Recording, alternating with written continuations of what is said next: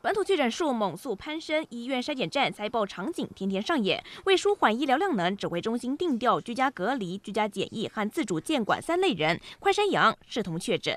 有些人，譬如说他要开诊断书，要取得保险给付的，万一他如果，呃，用别人的阳性的那个检验的结果拿来说他已经确诊，那这样我们就真假难辨了啊！我们如果不能确定的话。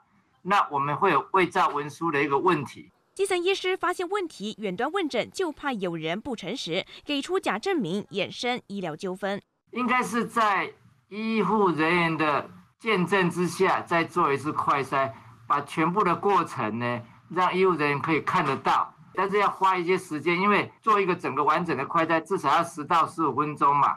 就怕未厘清真假，反而浪费诊疗时间。医师呼吁民众试训时务必给足证明，同步提醒待在家的人，如果有胸闷、高烧不退、呼吸困难、心跳快速或微弱、脸色苍白等症状，就有可能是轻症转重症，还是要尽快送医。快筛阳及确诊，医师普遍赞同，但疫情重灾区的新北市长侯友谊觉得还不够，中央适用对象要加速松绑。天我们必须要考虑到民众的适应性，以及我们医疗系统对于这样的一个转变，它的这个所谓的的这个 调整以及弹性的应用。台湾民众在接受快筛的这个时间，事实上还在这还在这一两周之内，我觉得都需要以滚动式的方式慢慢做修正。台湾的高峰大概是在五月下旬或者五月底，台湾的 PCR 的量能大概很难超过十万呢，啊，所以有可能会超过五万。进入秋天、冬天。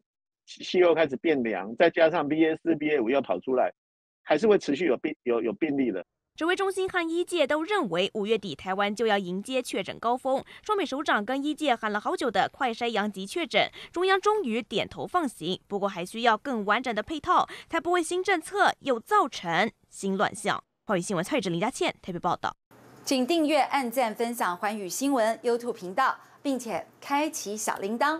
随时掌握全球时事与最新趋势。